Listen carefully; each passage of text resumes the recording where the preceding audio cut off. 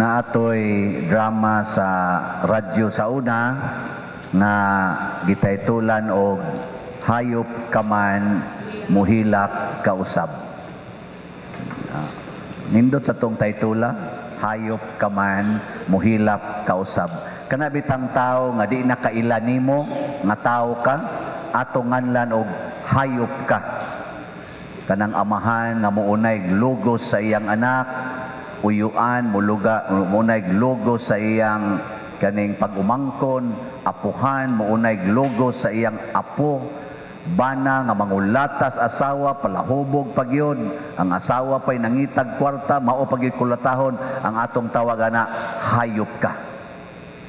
Unsa man ang hayop? Hayop? Mananap banyaga mananap hayop. Mao mo nato isulti. Pero sa pagkatao ni Hesus ang mga hayop ra gyud maoy nakasaksi nga siya gipanganak ni Maria. Ang mga hayop muna sugod karon higugmaa ang mga hayop. Ano mamamutuon ako. Kana ba mga hayop og batasan higugmaa pero ngano man nga si Kristo mitugot man Ginoo man ta siya, siya man tayo nagkontrol sa universe. Siya man tayo nagkontrol sa kinagamyan o kinadak-an nga mga parts sa creation. Nganong nitugot man siya, nga anhira siya ipanganak ani ni ang pasungan. Wa na lang balay nga iyang napilian aron adto siya dito ipanganak nga tao man unta siya. Ang katong narration kaganiha binasi to sa Bible narrative. Niya akong gi, gi translate og gamay sa atong pinulungan. O mao to. Ako tong translation nga gibasa nindot kay pagkabasa sa gabasa nato may sa kay pagka-action sa atong Jose ug Maria. Ug may sa kay pagkakanta sa atong choir og Silent Night Imong tanawon ang maong iksina.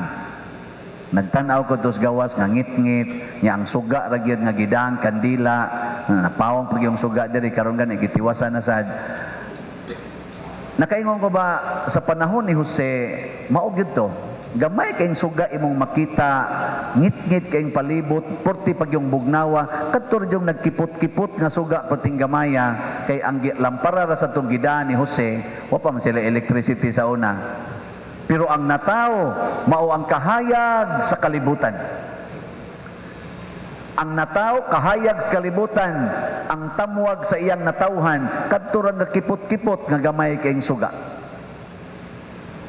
Og ambot sa inyong pamalandong basta ako sa akong pamalandong ani si Kristo nahigugma sa mga tao nga ang batasan murag mga hayop.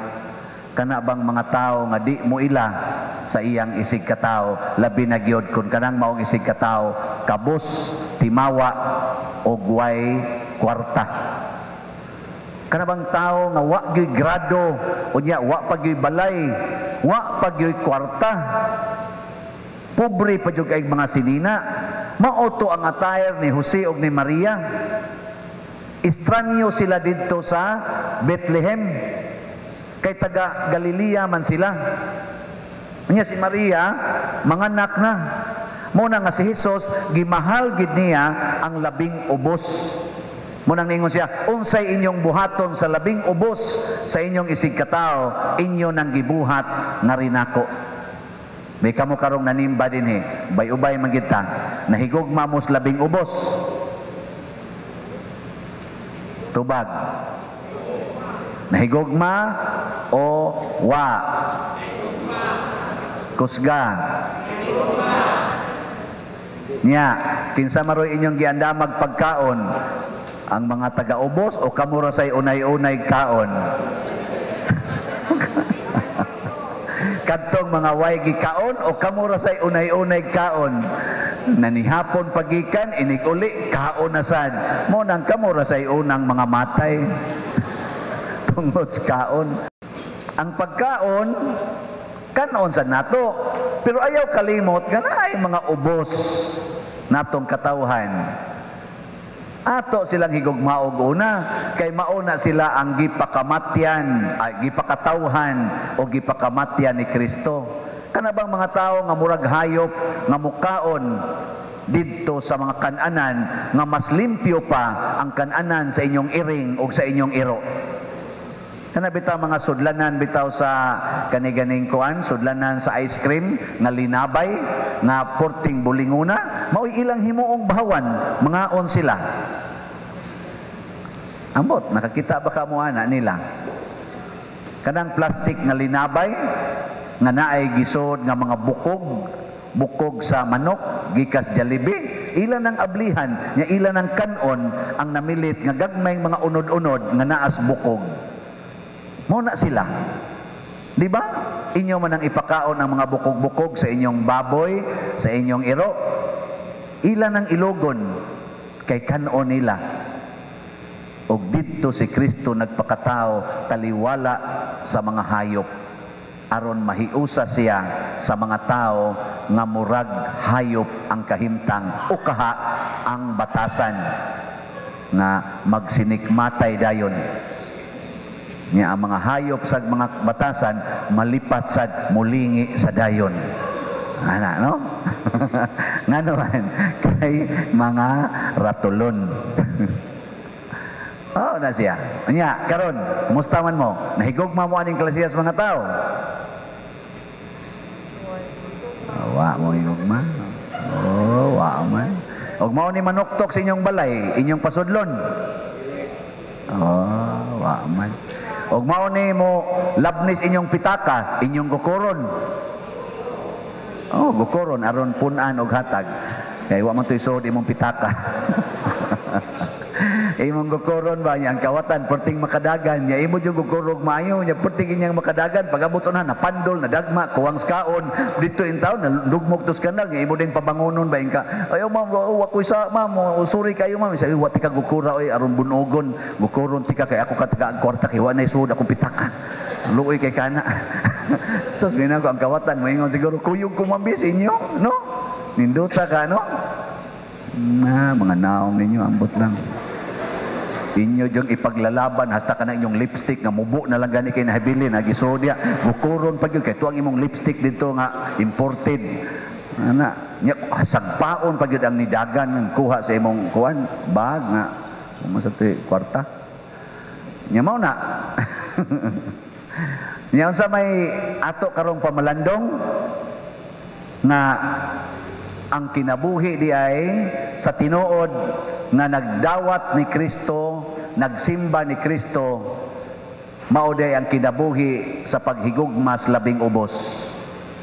Muna diri sa atong unang pagbasa, gihulagway diri ni propeta Isaías nga ang Israel ang labing ubos nga nasod binihag sinalikway didto sa Ehipto hatagan niya nga musidlak sila sa kahayag musidlak ba sa kahayag mao bitaw si Maria nga wa gyud ka pa eskwela siyang anak. Si Jose nga wa gyud taon ka pa edukar siyang anak tungod siyang kapobre karon misidlak na sila. Ay butang na to eh. Dagko kay gimahin. Si gitaog luhod-luhod hapyod sa ilang mga tuhod. Haron tagaan tagkaayuhan sa atong COVID, maayo tas cancer, ana, musidlak na sila. Ana? Pero kana mga dato kayo, kanang mga dato kay tanan nga kusog kayong mangural, unya manghingilin dayon sa mga naigo sa ilang koral, nya butangan day nilag markang no trespassing. Oy, mag-anam nagkadunot, mag-anam og kadunot. Di kita muhapyod ana nila sa ilang tuhod inig kamatay. Nga naman, hadlok ta bisan paghikap kay basig pusilon ta. Kamo, kumusta man? Kahadlukan mo sa mga tao o malipay ang mga tao nga mohapyod ninyo, mogunit ninyo? Saan mo ron? Duulonon mog tao o likayanag tao? Ah, depende. Ug naay mamaskos inyo, nya ingnon ni white tao. kasadya ning takna, ang mga bulingit in tao kay ignaw kasi kasadya ning takna, ing ka white tao. Sige mo saba-saba diha. Iniglakaw na dito ingon ayaw gaagi diha kay naay mangtas diyang gapuyo. Onya, hain naman Diyos Kristo. Yab, simba dayon ka diri. Ana, ah, sige day ka galadalad sa Ginoo. Luhod day kag maayo, bayaw-bayaw sa imong kamot. Oy, mingon Ginoo, pikat nimo. Eh. Pariha ra kadtong mga taong akong gituktok didto, gituktok sa kong papa kay musaka unta mi kay mga anak adto ko'y anak wa gyud mi padayon na. May pa dito balay sa mga hayupan kay gi-welcome pa mi. Nya na dayon ang baka, naana, naana. Siya. Niya na ang baka ko nun, naana, naana. Aloho din sila. Kamo, welcome mo. Oy, pero makakita mo pare na labi nag nag-clerical. Ah, sus, abli pa din, pa din, pa din, pa din, ada. Oy, wa mo kay baw ang ga solo mo clerical. Yawa day kay tanan so. Adi man to yawan on tingali pero ikaw nganong ka na may imong gihigugma nga kuan mo na siya nabitaroy nabitay ni text na ako karon pader ah, magkuyog mi ni Archbishop Palma Ugma kay mamisita mig mga prisuhan among hatagag mga pinaskuhan. Mamisita ko no silang prisuhan nakaana ko sa akong kaugalingon lipaya kas piniriso no? Nga bisitaon sa obispo? No? Lipay tingali kayo. Ah, kami gay diri wa man gay may bisita ha. Prisuhan, may pag napriso na lang noon ta kay bisita on data dito. sa naasahin pa ko mga lima ka tuig kong naasahin sa prisuhan na observe gyud na nako ang kalipay sa mga piniriso bisag tuwa pa ko sa may gate ba nya maglantaw sila magsila pader pader ana welcome gid kay sila lipay kay sila musaka ang pari ngadto sa ilang kuan ilang lugar. Kamo, sakon mong piniriso, malipay mo. ha? malipay mo? Musaka ang piniriso sa inyong balay? Dili? Hala, usba na ng batasan na ron. Paglipay na mo, kay basin unya og maliwat ta sa mga nisalikways ginoo.